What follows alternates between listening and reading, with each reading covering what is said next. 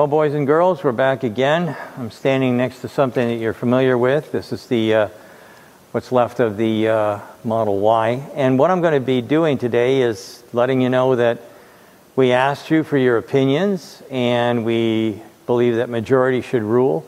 And so, consequently, everybody seemed to be interested in the Cybertruck and the Cybertruck's competitors. So, uh, I've got a little surprise for you, I guess. Um, here we have the uh, Chevy, and then over here we've got the Ford, and right next to it we've got the, uh, the Ram.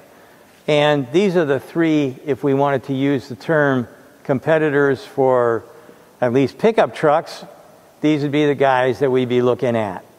So we're going to be discussing things in a little more detail than, um, than just uh, an overview or a reading of the of the specs. We're going to be going into a little bit of detail, but we are not tearing these things down to nothing.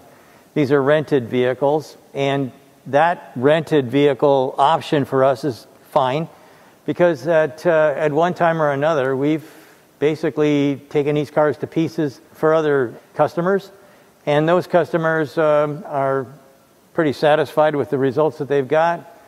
Um, the, uh, the, the products have been on the market now for a fair amount of time. And we're going to be uh, looking at what did they do, how did they do it, why did they do it that way. So let's, let's talk a little bit about the attributes here. So roughly, uh, there's about uh, 2 million of these trucks uh, sold in 2019.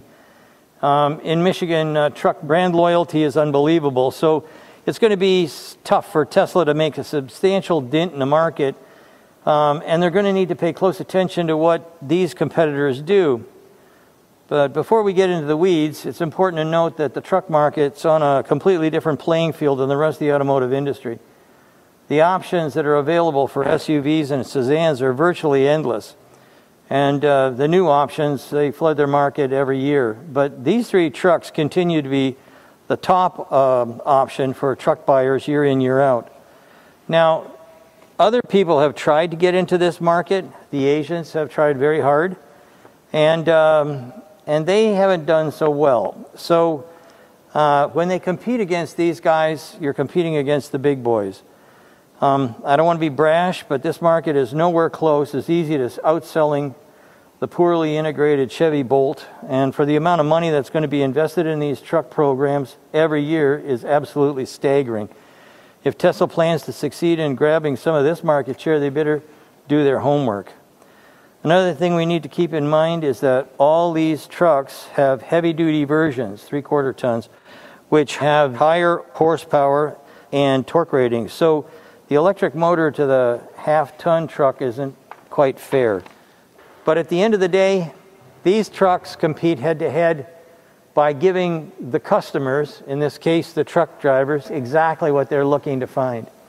So stick with us. Um, our, first, uh, our first real program will be soon. Uh, but uh, there is another thing that's going to be popping up on Friday. We did uh, question and answer period for the uh, patrons, and uh, they got a chance to see it first. Now we're going to show it to the rest of the world. It's quite long, about an hour and a half, so I'm not sure whether we're going to break it up or whether we're going to just put it out there for when you have a lot of time on your hands.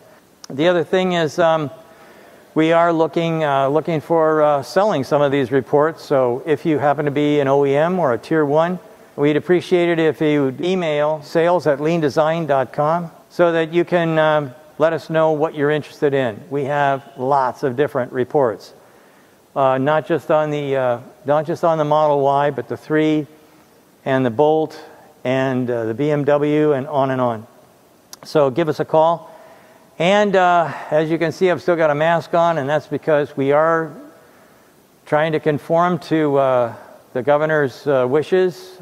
she's opened up for manufacturing, and we're manufacturing engineers, so we, we can come back to work. And uh, so you'll still see me in a mask. And besides that, many of you noticed that uh, I look better in a mask than I, than I do without a mask. So uh, thank you for that comment. Anyway, tip those cashiers. Stay tuned. We hope to keep you interested and excited and uh, all the way up until maybe we can get our hands on a Cybertruck. Thank you all. Have a great day.